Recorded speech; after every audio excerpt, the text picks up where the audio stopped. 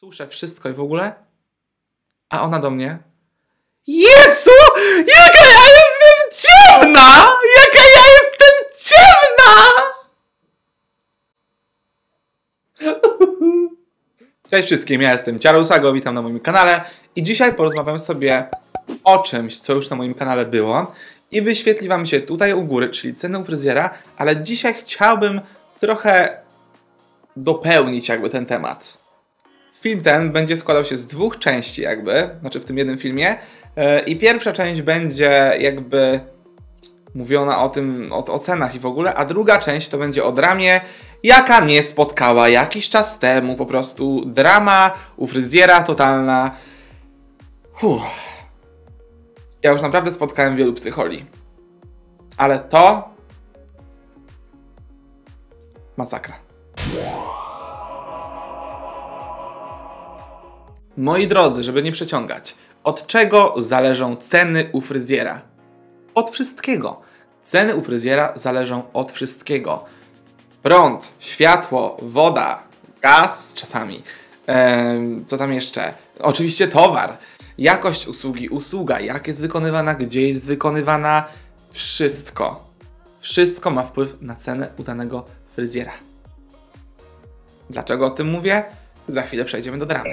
Rozumiem, że nie każdy sobie może pozwolić na jakiegoś fancy, drogiego fryzjera, za którego ja absolutnie się nie uważam, bo moje ceny też nie są jakoś, nie wiem, monstrualnie duże, no ale każdy uważa inaczej i w ogóle niektórzy chcieliby strzyżenie za 10 zł. No niestety u mnie takiego strzyżenia nie dostaną. Natomiast moi drodzy, ja powtarzam to po raz milion enty, że jak idziemy na jakąś usługę, pytajmy się o te ceny. Nie bójmy się pytać o ceny, masz do tego prawo. Nie wstydź się, bo mi niektórzy mówią, że się wstydzę, bo wyjdę na taką czy taką. Nie, masz prawo nie chcieć zapłacić tyle, ale jak ci się nie podoba, nie pasuje ci cena, nie krytykuj, poszukaj kogoś innego i tyle. I nie targuj się z fryzjerem, czy z kosmetyczką, czy z make-upistką, bo to nie ma sensu. No nie. Bo czasami się zdarza coś takiego, że yy, jakby klientka mówi, nam, ja tylko bym chciała delikatnie podciąć, delikatnie wycieniować, delikatnie skrócić i to wszystko delikatnie jest tak zaznaczone, wiecie dlaczego? Żeby cena była niższa. Ale ja też tłumaczę już po raz enty, że nie ma czegoś takiego jak podcięcie. Ewentualnie, ok, można podciąć włosy, ale to jest to samo co pełne strzyżenie, tylko zamiast tyle włosa spada tyle, ale ja muszę te włosy tak samo wyciągnąć na grzebień wszystko, to jest ta sama praca, tylko mniejsza ilość włosa spada. Ale muszę wykonać ja to samo. Więc jak ja słyszę czasami pytania, że dlaczego y, drugi raz za strzyżenie ona płaci tyle samo? No bo robię to samo, tylko odświeżam to, co już zbudowałem, ale wykonuję te same ruchy, tę, tą samą czynność, ten sam szampon, to samo to. No ja tego nie rozumiem, co ludzie mają w głowach. No i właśnie, jak ludzie tak się targują, to tak samo jak moja przyjaciółka powiedziała, jak nie stać mnie na Porsche, to nie idę do salonu i nie pytam, czy mogę kupić to Porsche bez kół, bo będzie taniej. Właśnie jakiś czas temu zadzwoniła do mojej przyjaciółki klientka nowa i chciała się mówić na kolor i strzyżenie. No i tam opowiada bla bla. No i moja psiła mówi, że no kosztuje od do. I słuchajcie, co ona słyszała w słuchawce. No ale ja mam tylko 200 zł, bo jadę na ferie. I to była dorosła kobieta, bo ona na ferie jedzie. Ona ma tylko 200 zł na, na ferie jedzie. I co ona teraz ma zrobić? Położyć jej, nie wiem, farbę bez pigmentu albo pogłaskać ją po głowie? No, no nie wiem, nie rozumiem. Ja wiem, że to jest brutalne, ale słuchajcie, to, co fryzjerzy czasami słyszą od klientów przez telefon, albo face to face, albo w wiadomościach, to ja mógł książkę z tego zrobić. Z wszystkimi fryzjerami świata. W ogóle mam taki pomysł, żeby zebrać tu przed kamerą parę, kilku fryzjerów i tak porozmawiać. Bo uwierzcie mi, nie tylko ja sądzę to, co sądzę. No i właśnie, nie krytykujcie tych cen. Słuchajcie, ja wam to tłumaczę. Jak ja idę gdzieś do sklepu i są buty, które mi się mega podobają, ale kosztują miliony i wiem, że tyle za nie zapłacę, to nie krytykuję, bo rozumiem, że firma, która wyprodukowała te buty, chce na nich po prostu zarobić. Albo ma podstawy do tego, żeby wziąć taką sumę, a nie inną. Skoro się nie podoba, to poszukaj gdzie indziej, może będą te buty taniej, albo ktoś ci zrobi takie same włosy taniej. Ale nie krytykuj kogoś, że ma takie, a nie inne ceny. No ale żeby wam dopełnić jakby, znaczy to już do dopełnienie jest jakby, ale żeby wam dopełnić bardziej ten temat, e, to ten film, to macie tutaj u góry też link do filmu, który był te, wcześniej z tymi cenami u fryzjera. A teraz drama jaką miałem, słuchajcie. Miałem taką pewną klientkę e, fajną, która poleciła mnie swojej koleżance, chyba coś takiego, ale gdzieś tam mnie podpytywała, jakoś pisała mi coś tam, że mam tą koleżankę i potraktować jakoś delikatniej. Później mi to wyjaśniła, że chodzi o cenę. Ale słuchajcie, ja tylko jakby traktuję bardziej VIP-owo, że tak to nazwę, moje klientki, które są ze mną od lat. Nawet od kilku, ale są.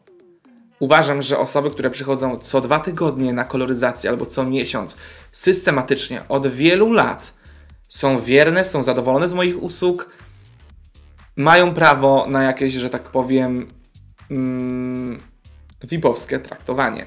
Natomiast osoba, która przychodzi pierwszy raz i już stawia takie, mmm, bo ja bym chciała taniej, bo chciała to. No nie. Nie. No ale okej, okay, tam popisać może, nikt nikomu nie zabrania, ale mnie to tak irytuje mnie to. No ale dobra. Eee, no i słuchajcie. I ta jej znajoma do mnie napisała na Instagramie. Już od samego początku, bo ja wam to tłumaczę, że ja widzę, że jest problem z jakąś osobą, był z nią jakiś problem. Ale mówię, no może mi się wydaje, może jestem naprawdę przewrażliwiony, może nie każdy jest taki zły, może nie każdy jest taki zły. Dobra, mówię, może jest w porządku, może miała gorszy dzień. Bo słuchajcie, chodzi o to, że ona się ze mną umawiała, podawałem jej terminy, kiedy mogę ją przyjąć, ona a wtedy, a wtedy, a wtedy, i ona mi na przykład miesiąc nie odpisywała. Potem napisała do mnie, że czy taki, taki termin mam wolny.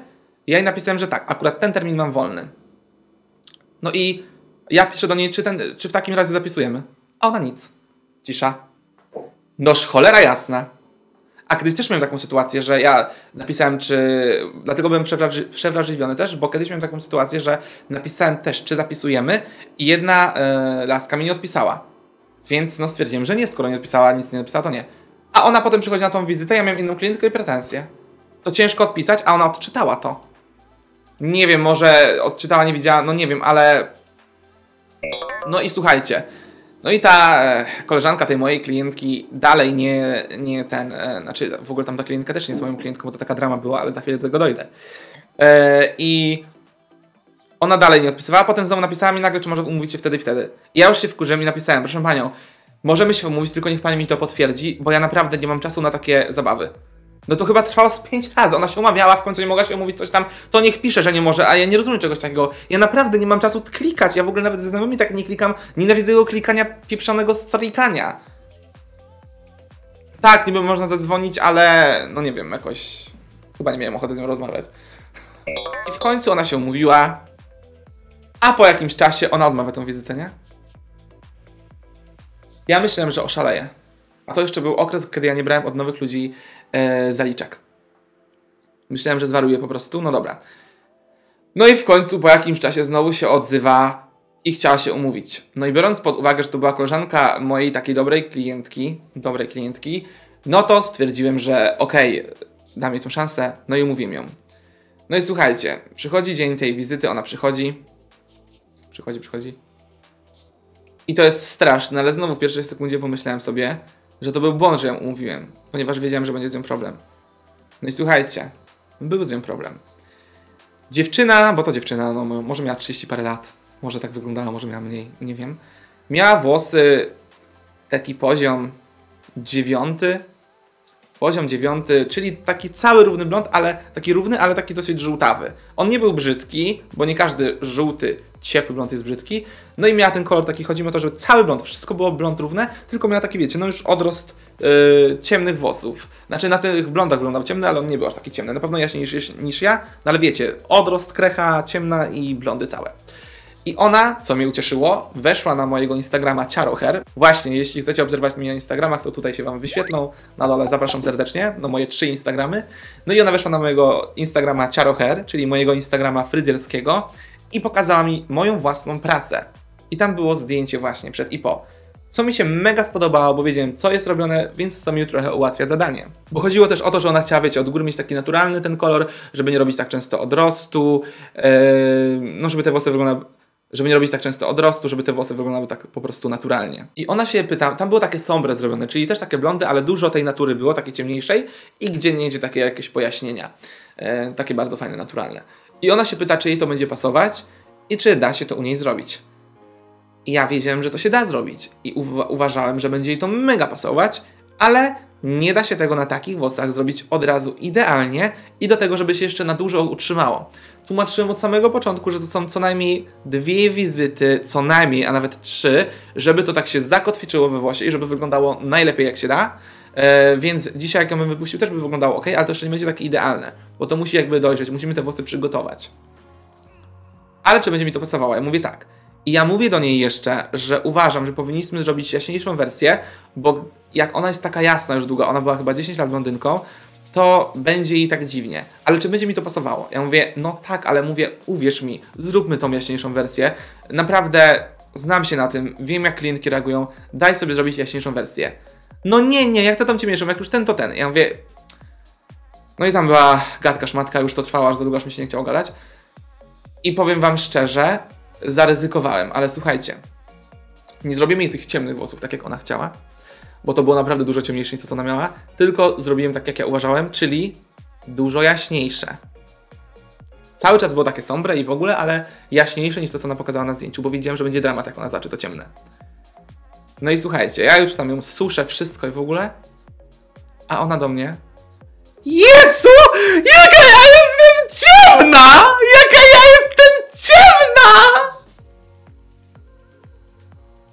Ja stałem za nią i miałem ochotę po prostu wziąć taką za włosy i wyprowadzić ją z tego salonu. Dostałem szału. Tłumaczyłem milion razy, a słuchajcie, i tak zrobię jej chyba z pięć razy jaśniej niż ona chciała. Więc pomyślcie sobie, co by było, gdybym ja jej zrobił to, co ona chciała. No by chyba tam zemdlała, się zesrała, albo nie wiem, co by zrobiła. No nie wiem.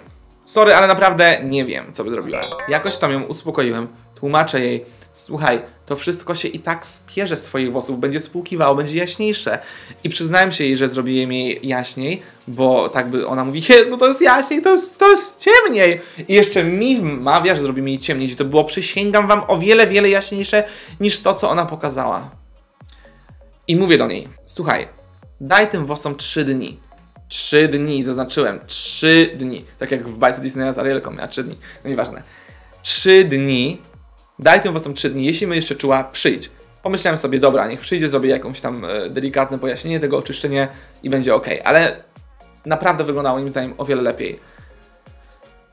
No i słuchajcie, ja te trzy dni zaznaczałem milion razy. Ona zapłaciła chyba za tą usługę 480 zł, bo tam było dużo pracy, tam było dużo pracy, tak. Chyba zapłaciła 480 zł, bo to jest teraz bardzo istotne, bo dla niektórych to jest bardzo wysoka cena, dla niektórych to jest niska cena, dla niektórych średnia, zależy i nimi tutaj jakby oceniać.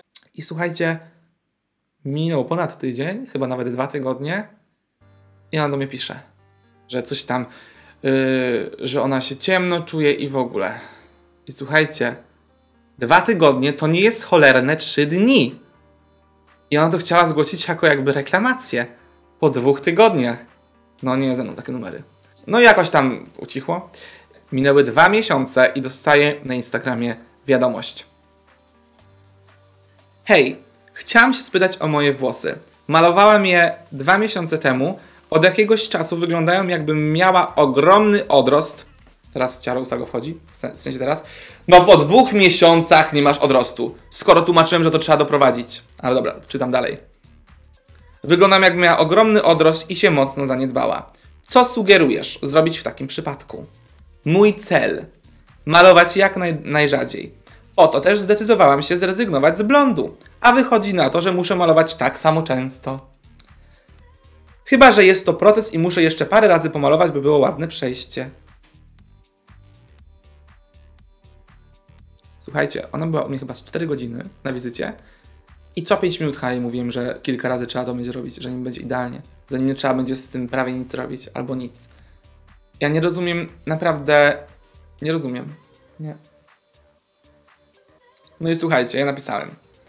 Hej, hej, jak to się mówi, nie od razu Rzym zbudowano. Ciężko mi teraz określić, nie widząc włosów od tego czasu, ale podejrzewam, że teraz można by zacząć robić refleks i co jakiś czas rozrzucać te refleksy rzadziej, aby szło w totalnie naturalny efekt. I potem już będzie można robić z dużymi przerwami, a nawet przestać. Ale wszystko wymaga czasu. Tak jak napisałaś, jest to proces. No i teraz słuchajcie, hit. Hit!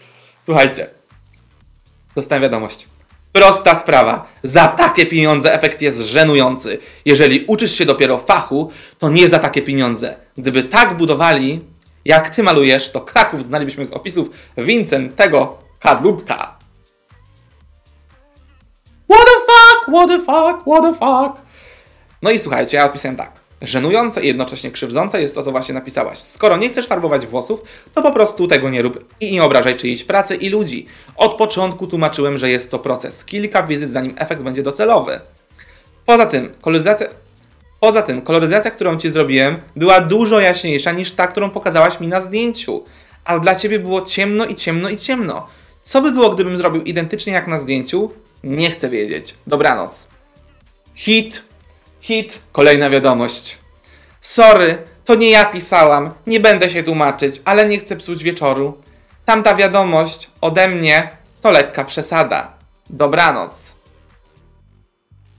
Słuchajcie, ja naprawdę nie wiem, co ludzie mają w tych swoich łbach. Dla mnie to jest psychiatra, Kocborowo, czy jak tam się mówi, zielona brama. No, dramat.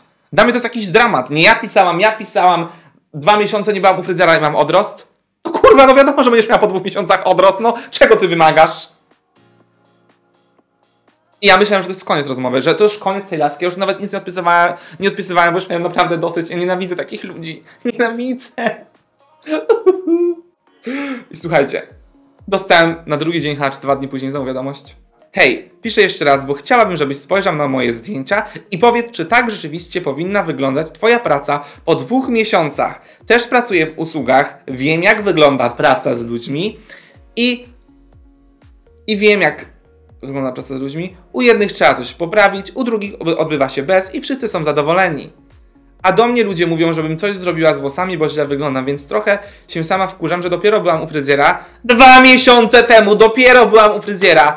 Człowieku, ty masz chyba jakąś inną percepcję czasu w ogóle. Masakra. Dwa miesiące to ja potrafię po prostu zmienić swoje życie o 380 stopni. Tam 360. Byłam u fryzjera dopiero, wydałam pieniądze, a wyglądam jak wyglądam. I wysłała mi swoje zdjęcia. I szczerze mówiąc, jak zacząłem tą twarz, to wiecie co? Tak, to może być teraz dla was kontrowersyjne czy jakieś tam, ale nie odpisałem jej. Ja nie chciałem mieć nic wspólnego z tym człowiekiem i z tym drugim, który niby pisał jako ona. Dla mnie to jest psychiatra się kłania. Mam nadzieję, że ta osoba wyzdrowiała. Mało tego, słuchajcie, akcja dorobiona. Klientka, która była u mnie, znaczy taką stałą klientką, no w zasadzie stałą, nie stałą, no gdzieś chodziła do mnie z pół roku. Z pół roku gdzieś chodziła do mnie, może nie cały rok. Bardzo fajna osoba, no ale niestety chyba koleżanki się zgadały, bo tamta też przestała do mnie przychodzić już. Jeszcze zrobiła niefajną rzecz. Jedną, ale już szkoda o tym gadać. W internetach jakieś tam, wiecie, niefajne rzeczy. Więc ludźmi to jest naprawdę różnie. I jaki jest morał tej historii, moi drodzy? Ona myślała, że pójdzie do fryzjera, u którego zapłaci, bo ona w ogóle nie była ta dziewczyna z Warszawy. E, ja nie mówię, że w jakichś małych miejscowościach czy we wsiach są złe fryzjerki, źli fryzjerzy, bo nieważne gdzie pracujesz, ani skąd jesteś, ani w jakim salonie pracujesz, czy w mieście. Ważne jak pracujesz. To jest najważniejsze. I słuchajcie, moim zdaniem to jest ten typ klienta, osoby, nie chodzi tylko o fryzjerów, ale o wszystko że na przykład jak coś kosztuje, nie wiem, 100 zł, to no dobra, to by było spoko. I gdyby ona zapłaciła u mnie na przykład, nie wiem, 200 zł czy 100 zł, to ona była zachwycona. Zachwycona! Ale ona, wiedząc, że wyda na pewno ponad 300 zł, a nawet 400, to spodziewała się, że ona pójdzie raz do fryzjera i on zrobi w mig coś takiego, że ona przez do końca życia nie będzie musiała nic z włosami robić, że włosy nie będą rosnąć, odrost się nie pojawi, że po prostu to będzie jak taka peruka przyklejona do końca żywota wiecznego. Amen. na głowie i koniec. I ona się obudzi, będzie miała zlokowane te włosy, pofalowane jak J-Lo zawsze w peruce. No, mua! tak się nie da. To nie science fiction, to nie Hollywood. To jest polska nieprodukcja Stany Zjednoczone. Słuchajcie, i mogę dać sobie obie te moje ręce, które doprowadziły mnie do tego, gdzie teraz jestem, uciąć sobie je, dać sobie uciąć, że gdyby ona zapłaciła o wiele mniej, to była zachwycona. Ale płacąc 480 zł, ona myślała, że ona będzie miała, że tam nic już nie trzeba będzie robić, że to będzie od razu zajebiste i w ogóle. I moim zdaniem to było spoko i wyglądało super. No ale wiadomo, że dwa miesiące koloryzacja, która była na totalnym jasnym blondzie zrobiona, nie utrzyma się, nie obroni się. To jest kilka etapów. I jak ja czasami widzę pod y, różnymi y, zdjęciami czy filmami, że dobry fryzjer zrobi od razu, no nie. Znaczy zrobi od razu, ale to się będzie zmieniać. Włosy od fryzjera nie będą wyglądały codziennie tak samo, jak po wyjściu od fryzjera. I mądra, normalna osoba sobie z tego zdaje sprawę. A nie wypisuje do mnie w kilka osób jakieś takie rzeczy, dramy, do psychiatra, nie do mnie. No po prostu dla mnie to jest jakiś dramat. I ta osoba pracuje z ludźmi, to chyba wariatko. Wiem, że 99% osób, które mnie oglądają, to mądre osoby i świadome, inteligentne, ale mimo wszystko dajcie mi znać, co o tym myślicie. No. Hm. Jeśli film Wam się podobał, dajcie kciuka w górę. Nie zapomnijcie o subskrypcji mojego kanału, a my widzimy się za kilka dni w kolejnym odcinku. Trzymajcie się. Adios. Hejo. Bajo.